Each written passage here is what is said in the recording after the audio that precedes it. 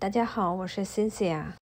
今天我们来做一款咖啡味的面包，马来西亚叫 Papa Roti，或者叫 Roti Boy。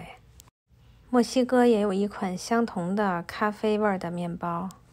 我们先来准备做酥皮的配料，用现磨的咖啡豆准备一杯浓缩咖啡，也可以用速溶咖啡代替。先把咖啡从研磨机里取出来。现在平时主要用胶囊咖啡机，这一款已经好久没用了。咖啡要装满以后压实，这样煮出来的咖啡才会特别的浓。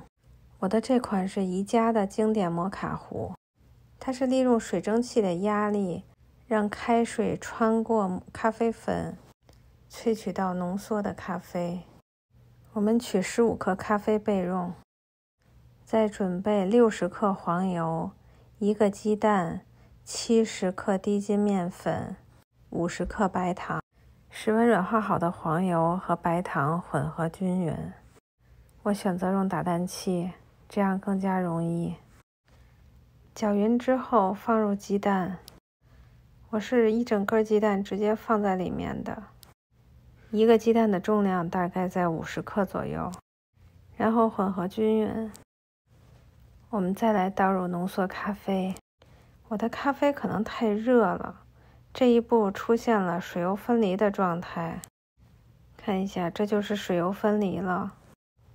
我的第一想法就是完了，今天又要翻车了。然后我想了一个补救的办法，我把盆儿整个放在了炉子上加热。然后就得到了现在的混合液体。我们来筛入准备好的低筋面粉，然后把它们搅拌均匀，装入裱花袋备用。为了给你们展示正确的效果，我又做了一遍。黄油室温软化，然后和糖混合均匀，把黄油打发到这个状态就差不多了。然后这一次我是提前把鸡蛋液打好，然后分三次加入的，这样能降低黄油的温度。而且鸡蛋我也是刚从冰箱里拿出来的，一点一点加进去，可以避免黄油升温太快。一定要等到蛋液和黄油充分混合均匀了，然后再加下一次。三次鸡蛋加进去之后，黄油的状态依然稳定。就说明这一步我们基本成功了。当然不能开心的太早。最后加入十五克的咖啡。每次加完咖啡之后，黄油都会出现水油分离的状态。因为我的咖啡是室温的，所以我觉得下次我要把它放到冰箱里冷藏。之前一次水油分离，我是把它加热融化了。这一次我决定把它放到冰箱冷藏。冷藏完之后，效果确实好很多。然后我们把黄油咖啡壶打至顺滑，就可以加入面粉了。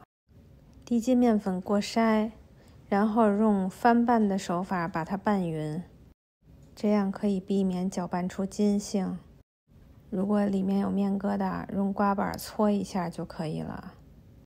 这个面糊很好翻拌。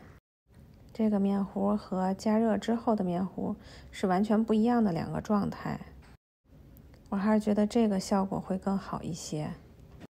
基本上这个样子就可以了。我们来装入裱花袋儿，找一个高一点的杯子，裱花袋儿套在杯子上，这样好操作。然后把面浆全部装入裱花袋儿，用刮板把空气挤干净，然后把尾部系紧。再用一个封口夹夹上，裱花袋的前面绞个小口，然后我们来把室温软化好的黄油切成小块儿，每块大概两至三克的样子。这就是我们面包的馅料。把面包胚用手稍微压一下，然后把黄油放在中间。我们用包包子的手法把黄油馅儿包在中间，然后用手揉圆。做好之后，放在烤盘上二次醒发，面团明显变成一倍大，我们就可以开始挤酥皮了。把酥皮的面浆像这样画螺旋形，一圈一圈的挤在面包上。慢慢的挤，不要着急。即便挤不好也没有关系，因为最后放到烤箱里它是会融化的。融化之后就是一层黄油咖啡糊覆盖在面包的表皮上。我是两款面糊各挤了一次。这款是第二次打发好的面糊，颜色比另一款浅一点儿。这是挤好的样子，看上去特别治愈，很像毛线团面包。我觉得我家 Leo 肯定会喜欢的。这一盘是第一次翻车的面浆做的面包，其实看上去感觉也差不多，只是颜色略深而已。